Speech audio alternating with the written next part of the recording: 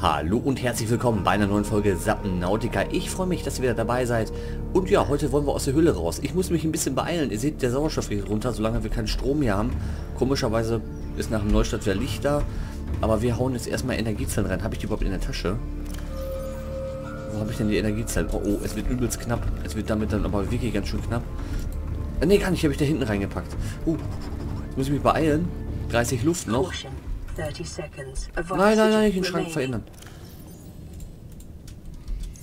Und, und, und, und. Voll. Ah, ha, ha, ha, Wir kriegen wieder Luft. Ich habe gerade zweimal versucht aufzunehmen und dann habe ich mich immer verhaspelt und dann wieder von vorne angefangen. Und dann habe ich jetzt mal gesehen, dass wir wegen Strommangel hier keinen Sauerstoff bekommen.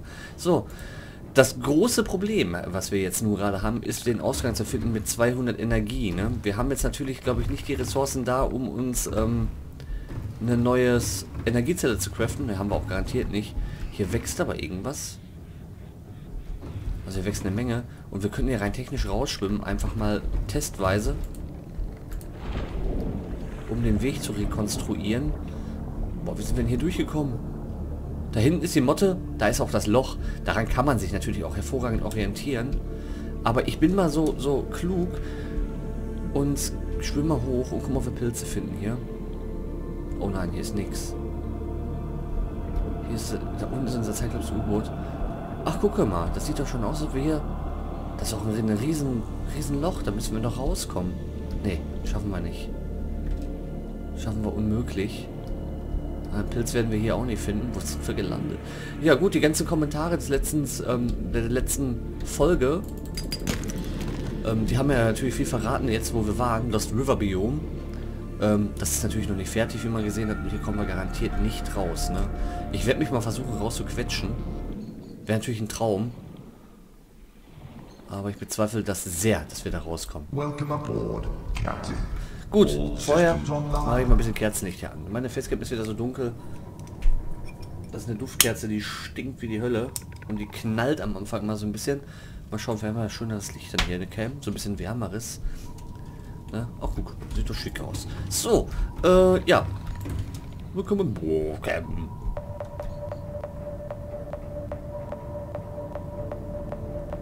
Ach, das ist so eine Art Einpackhilfe. Geil, die ist neu. Ja, ist alles nah, ich weiß. Hinten ist auch sehr nah. Das haben gut gemacht. Es gab wieder einige Pitches. Gestern kam keine Folge Subnautica. Ähm, das lag einfach daran, dass ich verschlafen habe. Ich habe ähm, nach der Arbeit sowas von mega geschlafen. Ich drücke und quetsche. Keine Chance. Ich brauche nur Energie. Ich gebe auf. Wow, das ist ein bisschen nervig. Und ich hörte von Überlebenden im Spiel. Ich sah einige Screenshots auf ähm, YouTube, wollte ich gerade sagen, auf Steam von neuen Monstern oder besser gesagt Lebewesen. Will nicht da lang schwimmen, das wäre falsch, aber ich kann hier nicht drehen. Hier ist alles zu eng, überall ist rot. Wo habe ich mich hier rein manövriert? Wir müssen uns das ansehen. Okay. Ja, da gab es ein dicker dickes Update, über 100 MB war es groß. Er hat natürlich einiges dazu gebracht, aber ich bin auf dem Grund, ne? Vorsichtig, damit ich jetzt nicht mehr einsteigen kann. Also rückwärts fahren geht gar nicht. Wie sind wir denn hierher gekommen, verflucht nochmal? Da. Wie soll ich das denn schaffen? Ich habe mich eingeparkt. Wie peinlich. Ich habe mich eingeparkt. Wir müssen hier wieder raus. Habe sehr interessante Lebewesen gesehen. Ähm, so, jetzt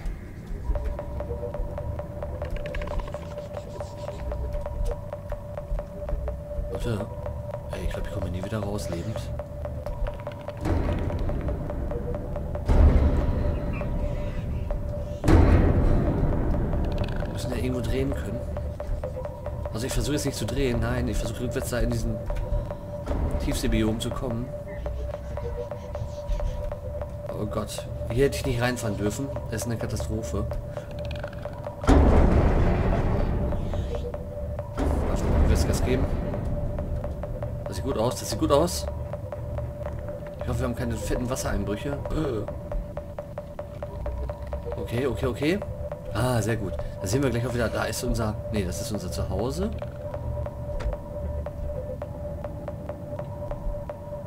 Oh, das ist aber, das müssen sie ein bisschen, äh, ah, gut, jetzt haben wir überall frei um uns rum. Oh Gott. Da ist Loch. Ja, ja, ja, ja, ja. Aber ich finde es schon ganz cool gemacht, auf jeden Fall.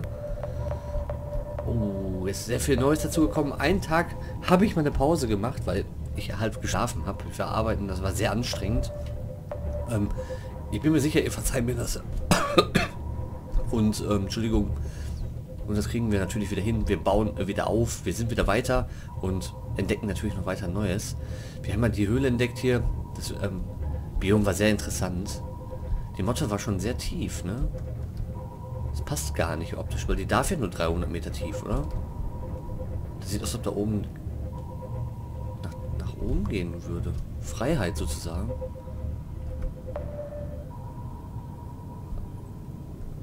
Aber da unten steht die Motte. Wir holen natürlich unsere Motte ab, keine Frage. Die wartet sehnsüchtig auf uns. Wir haben diese geile Höhle durch, durchquert. Also das war... Sie ist noch nicht fertig. Ne, keine Frage. Das stimmt doch was nicht. Durfte die Motte weiter als 300 Meter oder war es vielleicht 425? Ich weiß es nicht mehr. Ja, ich weiß, ich sehe es ja. Warum war da jetzt ein Wrack? Die Motte. Dann geht es hier steil bergauf. Raus! Wir haben den Ausgang gefunden. Freude, Freude. Und wir haben immer noch 160 Energie. Sehr gut. Boah, es ruckelt gerade ganz kräftig. Möttchen? Ah, Mann, nee, das ist nicht böse. Er schreibt mich doch nicht so. Blöder Fisch. Welcome aboard, Captain. Ah, hat durfte noch ein bisschen. So, wir laden wieder unsere Motte auf. Die vergessen wir dieses Mal nicht. Nein. Und, ähm, Sesh, es tut mir leid, also ich habe es ja zwar in den Kommentaren schon mal geschrieben, du guckst das ja mal mit deinem Sohnemann. Ähm, und ich habe so viele blöde Schimpfwörter benutzt, das lasse ich ja auch. Ich gebe mir Mühe, das nicht zu machen, aber ich war so begeistert. Ja, also gebe ich mir natürlich Mühe, nicht immer irgendwelche blöden Schimpfwörter zu benutzen. Das ist zwar kein Kinderkanal, den ich habe, oh Gottes Willen, aber natürlich freue ich mich, dass du es mit deinem Sohn immer guckst, wenn ihnen das gefällt. Habe ich doppelt Freude mit dran. So. Oh, wir sind raus aus dem... Was? Das ist auch eigentlich genau das Biom, wo ich gucken wollte, mal kurz. Also nicht exakt, weil... Krass, ne? Wir müssen auch unser Ei loswerden. Dürfen so schön tief tauchen mit dem Ding. Das tut richtig gut. Ah, da geht's Richtung Heme. Gut, nicht, dass wir da so schnell rauskommen. Ich dachte, das dauert. Ich muss einmal hoch. Ich muss einmal gucken, wo ich bin. Oberfläche, ich komme. Ähm, in den Kommentaren wurde mir geschrieben, ähm, 57 Meter südlich der Absturzstelle soll es einen Überlebenden geben. Ich weiß auch nicht, ob da was dran ist, ähm, aber ich habe eher fast den Verdacht, aber wohl, das wäre eher nördlich, wo wir sind von der Absturzstelle. Nein, südlich ist gar nichts. Ne? Also ich werde das heute auf den Grund gehen. Ich glaube, wir werden da keinen Erfolg haben. Ich habe auf jeden Fall einen großen Patch runtergeladen. Das Spiel hat nicht gesagt, es ist nicht aktuell.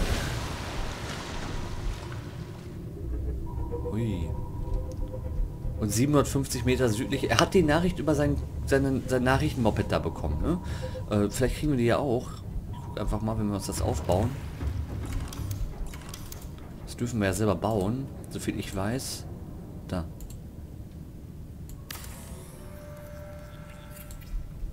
Vielleicht kriegen wir später eine Nachricht hier drin. Das hat sowieso gefehlt, das wollte ich sowieso bauen. Nachricht. Nein, Quatsch. So. Auf geht's Richtung Heimat. Wir werden das Ei los, dann haben wir so einen Zitteraal, so richtig coolen, haben wir dann bei uns in der Basis. Was ist das da? Ah, das ist die Aurora, die sieht man auch so schlecht, wenn man drauf guckt. Wir sind noch in der Höhe der Insel. Ihr seht da hinten. Interessant, ey. Interessant. Süden wäre in der Richtung. 157 Meter südlich. Ja gut, die Nachricht werden wir eventuell auch bekommen. Und vielleicht ist das wirklich nur so der Fall, dass das Ding oder das überlebende Lebewesen, was auch immer das sein sollte, da ist wenn ähm, wir die Nachricht auch wirklich bekommen haben. Ne? Vielleicht ist sie auch jetzt erst in der Basis, aber ist ja natürlich noch ein mega Kilometer, bis wir da sind. Aber wir haben ja eigentlich unsere Basis dabei. Ne? Wir sind ja... Oh, leck. Wir sind ja in unserer Basis. Finde ich ziemlich geil, die Cyclops-U-Boot als Basis zu nutzen. Die Cyclops. Bei mir ist es ein weibliches. Auch wenn sie Klaus heißt. Ah, ich habe schon wieder vergessen, den Namen zu benennen. Verdammt, ihr habt so coole Vorschläge. Ich mache mir vor der nächsten Folge eine Liste, wie das klappt. Also wie der Name so lauten sollte. Und ähm, habt noch eine andere Idee. Vielleicht kommt heute, also ich nehme die einen Tag vorher auf die Folge. Wir haben nämlich jetzt gerade 21.06 Uhr auf dem Donnerstag. Ähm, gerade läuft Germany's, Next Topmodel. Da kann ich ganz locker und easy mal das TV-Programm links liegen lassen und nehme natürlich lieber auf. Aber morgen nehme ich vielleicht noch mal morgen früh auf, wie wir vielleicht spawnen. Lasse ich noch ein bisschen... Mann, ich bin ein durcheinander. Ich habe gerade... Ich habe zu viel geschlafen heute. Ähm, ich, wie wir Sachen spawnen lassen können, wie zum Beispiel ähm, die neuen Monster. Die gehen. In Experimental-Modus kann man ja wieder cheaten und da werde ich dann nicht speichern oder sowas, aber ich werde dann mal diese neuen Monster hervorrufen. Wenn das geht, also die Leute haben es auf jeden Fall hinbekommen oder die gibt es tatsächlich schon. Ey. Dann können wir sie vielleicht auch so finden. Also ich werde das erst prüfen und dann werden wir das machen. Da gibt es heute noch ein kleines Subnautica extra auf jeden Fall. Das könnte ganz interessant sein. Was da so in naher Zukunft auf uns zukommt. An Lebewesen. Also bei Steam seht ihr sie ja eigentlich schon, ne? wenn ihr die, die Community Hub euch anguckt. So, also direkt drauf zufahren wird nicht klappen, weil wir nicht hinpassen, ne? oder? Letztes Mal ist doch geklappt. 750 Meter südlich wäre... Das könnte, könnte das die Insel sein, tatsächlich? Die Nacht bricht herein. Oh ja, ich liebe die Nacht.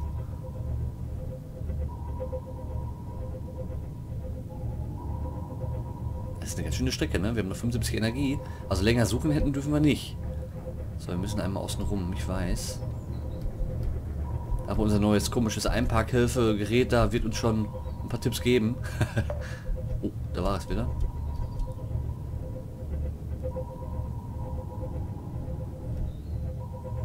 Es ruckelt heute aber sehr, sehr heftig, ne?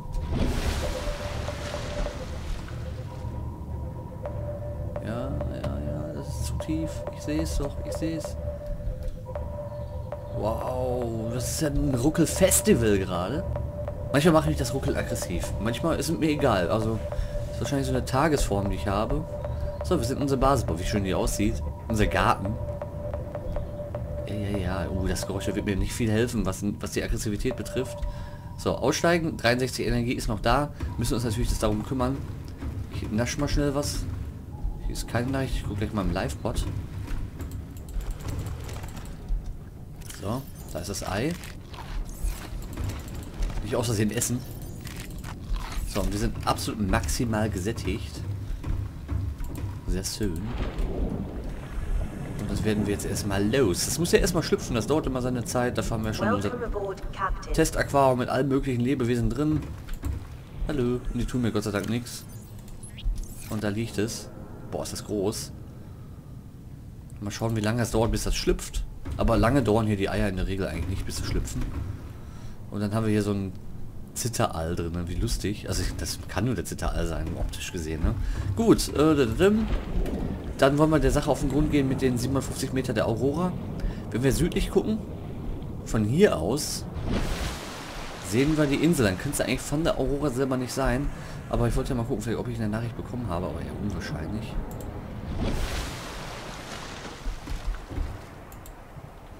Also ich habe noch keine bekommen. Und jetzt ist es natürlich sehr schwer, 57 Meter einzuschätzen in dem Spiel, ne? Aber wir können ja rein technisch. Ich gucke mal, wir haben ein Kupfer. Wir brauchen für diesen Beacon, da können wir uns ja von entfernen. Dann sehen wir... Ne, wir sehen gar keine Meterzahl, ne? Wir sehen nur Loch da hinten zum Beispiel. Dann können wir uns die Arbeit schon mal sparen. Ja. Eine Meterzahl sehen wir nicht. Wir fahren einfach südlich, gucken den Grund uns ab und schauen mal, was da so zu finden ist. Ich denke aber jetzt ganz ehrlich nichts. Ich glaube einfach nicht, dass da... Was soll denn da... Jetzt knallen wir erstmal auf den Grund.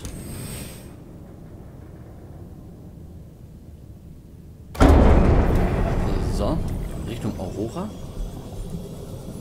Was sind 750 Meter im Spiel? Ne? Wir haben natürlich auch die Möglichkeit, 750 ist eigentlich ganz weit, weil wir haben ja auch die Signale zum Beispiel. Ne? Die sind ja auch mal so 1200, 1300 weg.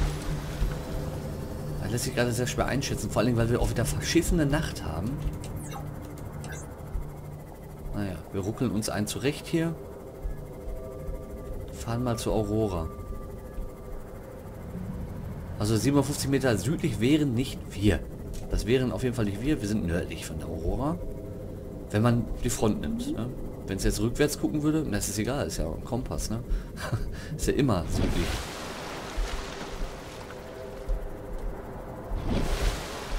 Wow. Oh. Gut, wir haben noch... Ah, scheiße, was haben wir denn da, ne? Ich weiß noch... Oh, scheiße. Hier ist ein Reaper. Dann sind wir jetzt aktuell südlich der Aurora. Knapp jedenfalls. Wir sind jetzt ja hinter der Aurora. Oh, hier war ich glaube ich schon ewig nicht mehr. Oder wir waren noch nie hier. Eine Menge Brocken.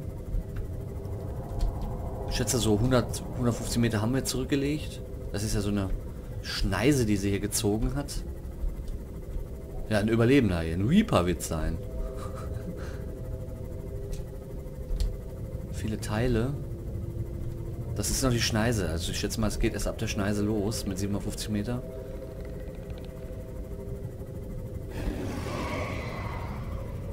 Aber da wird nichts sein. Da wird, ich kann mir das auch nicht vorstellen.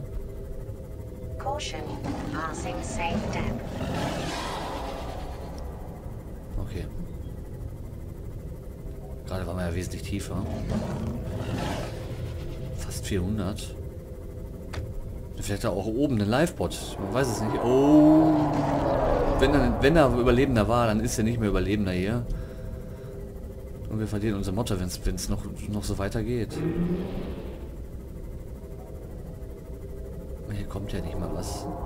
Also ich fahre südlich. Hier ist auf jeden Fall, hier ist auf jeden Fall Leben. Ja, das ist schon mal interessant. Und es gibt auch Metallschrott. Also ist hinter der Aurora mittlerweile auch schon. Biomplanung ohne Ende.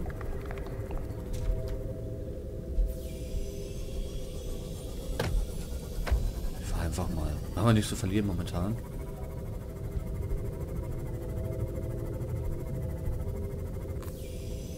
Nee, das ist die Unendlichkeit, oder?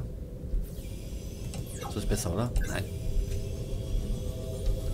Es sind auf jeden Fall mega viele Fischarten hier. Erstaunlich viele.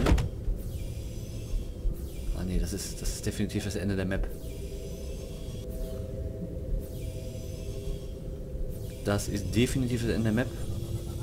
Und ähm, ja, ich spiele die aktuellste Version jetzt, auch wo es seht. Es kann sein, dass gestern Nacht noch Patch rauskam.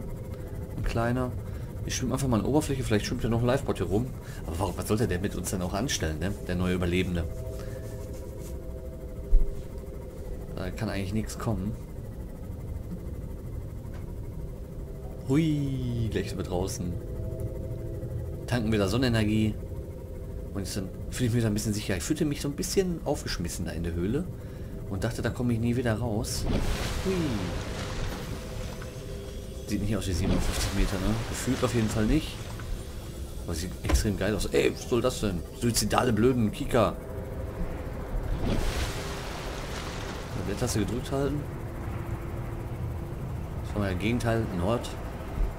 Das kann aber auch südlich von da sein. Also man weiß es nicht ganz genau. Der Reaper hat uns auf jeden Fall nicht erwischt. Aber warum sollten sie denn jetzt einen Charakter hier reinmachen? Ich verstehe das nicht. Aber ich habe die Nachricht auch noch nie erhalten. Das ist es einfach, ne? Aber einmal gucken gehen war natürlich interessant.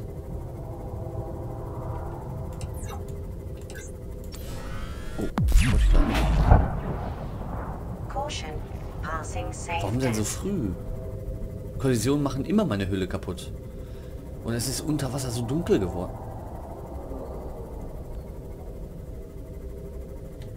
Ich will runtertauchen, aber zieht man nach oben. Nur. Na gut, vielleicht wäre das ein mega Suchspiel, ne? Den Typ zu finden. Oder vielleicht ist es ja unsere Frau. Aber so viel Glück habe ich nicht, dass wir das finden.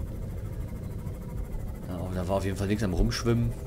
Hier ist die Aurora kaputt. Und das wäre gar nicht so weit weg von der Aurora, 57 Meter. Sehen wir schon an der Tiefe, ne? Wie viele 57 Meter im Spiel sind. Wir sind jetzt schon 150 tief. Aber ich fühle mich jetzt unwohl hier mit dem Reaper im Bereich. Ah, was ist das denn? Und wir dampfen. 59 HP. Na, hier sind wir wieder in der Einflugschneise oder in der Absturzschneise der Aurora. Hier schwimmt der Reaper rum. Und äh, ja, ich werde mich mal heute Nacht schlau machen. Wenn ich mir im Bett lege, mal ein bisschen googeln. Aber auf jeden Fall wird es einiges Neues geben, die Tage, denke ich. Die nächsten Tage, Wochen. Es scheint eine Menge zu passieren bei Subnautica, definitiv.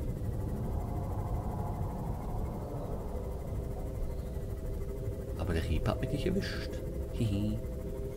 Das ist ein cooler Tipp mit den 700 Meter. Ich habe die Möglichkeit kann bestehen, dass ich ihn jetzt natürlich nicht gefunden habe, weil ich von der falschen Position losgefahren bin. Aber ist ja auf jeden Fall interessant, was sie jetzt also dabei machen. Es wird immer mehr Story vor allen Dingen, ne? War geplant. Das Wrack haben wir schon durchwühlt. Wir haben eigentlich schon alles Wichtige in der Tasche.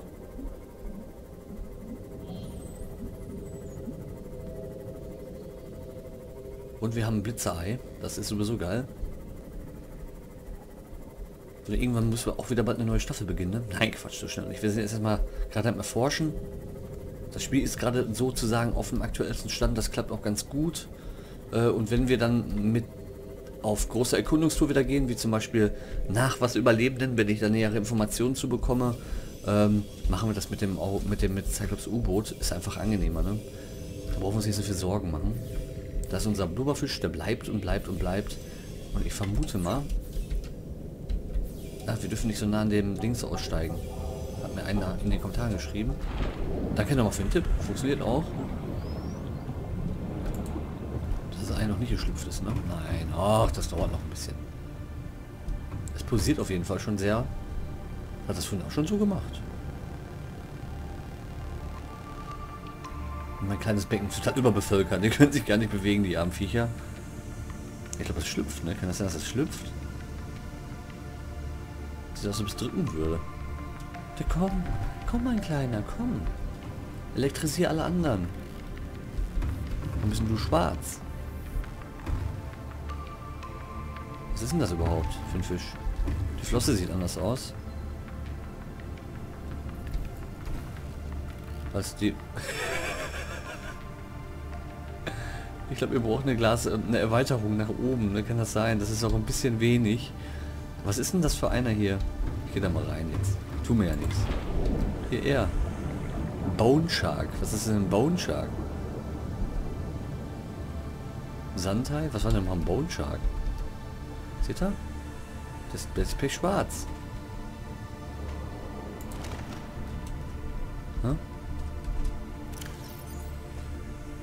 Shark. Der ist schwarz. Das war ein Bone Shark. Kann mich nicht erinnern. Ich habe hier alles drin, was ich kenne. Das Ei sieht aus, ob es gleich schlüpft. Okay, jetzt, jetzt genug Fische geguckt. Wollen wir mal gucken. Habe ich denn noch ein bisschen... Ich habe ja noch ein bisschen Quarz. Ich habe ein bisschen Titan. Wir könnten eigentlich noch, noch ein Aquarium oben drauf bauen, ne? wenn wir die Zeit schon finden. Das Ganze würde kosten... Viermal Glas und ein Titan. Das ist sehr billig. So. Das ist wahrhaftig nicht allzu teuer, aber das ganze Zeug haben wir hier drin. So. Hier müsste nichts mehr drin sein. Ui. Warum sind die immer leer? Habe ich die leer geräumt? Nee, im Leben habe ich die leer geräumt. Ihr das immer? Wir tun mal im Log 5 zwei Flaschen Wasser rein. Ne? Die, die eine trinken wir. Log 15, zwei Flaschen Wasser. Merkt euch das für Zukunft. Oder gucken, ob wir das wieder leer gepackt kriegen. Aber das ist natürlich doof, ne? Nicht, dass es noch nicht so klappt mit dem Speichern, den mobilen Geräten. Dann können wir auch nicht bauen. Dann fehlt mir Quarz. Gut. Dann sage ich an der Stelle danke fürs Zusehen. Nächste Folge wollen wir vielleicht... Ach, scheiße, da sind die Dinger noch drauf. Vielleicht lassen wir die einfach... Ziehen wir die einfach um, die Fische. Dann sehen wir uns in der nächsten Folge. Bis dann.